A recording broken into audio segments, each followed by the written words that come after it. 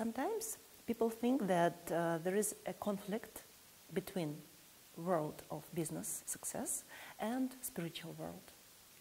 And uh, I saw many people, for example, from the world of business, who look at the people from spiritual world, like yoga teachers, uh, some spiritual healers, and they say, oh, they don't want to do any efforts, they don't want to achieve anything in the social life, they don't have energy, they are like lazy.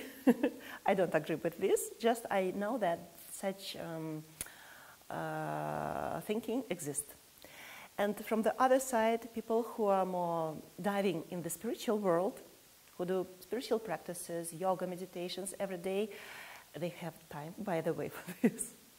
They think, oh, poor crazy business people. You have so much stress. You have so much illnesses. You have a lot of anxiety problems. You have a lot of depression. You should go a lot to medicine people to help. It's not, it's not harmony. What do you think? What is more harmony? In reality, um, I believe that these two worlds are connected. They should be together. Because from one side, the world of social world, business world, world of success, it's the opportunity for our personality, for our individuality to express, to materialize what we are, what talents we are given, to express, to do something good for people around us. Do you agree? From the other side, how we can do this, how we can achieve all this if we will not have energy. Where from we should take the energy? We are given from the very childhood some amount of energy, yes?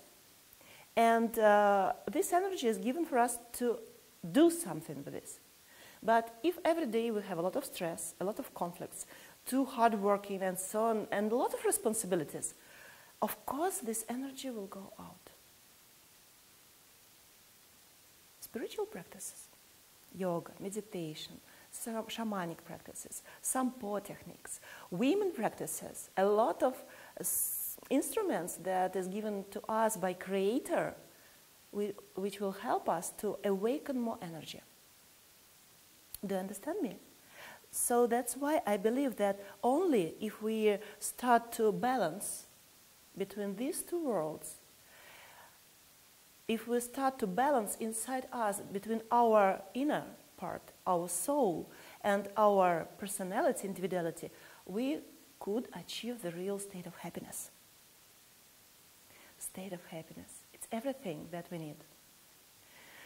And uh, many years ago, when I was focusing just on the business field and I got three high education, uh, I got several businesses. I started to um, be focused only on career building.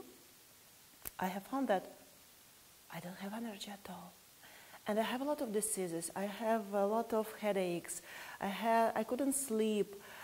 And it was awful life. Even I had a lot of money, but it was not the state of happiness.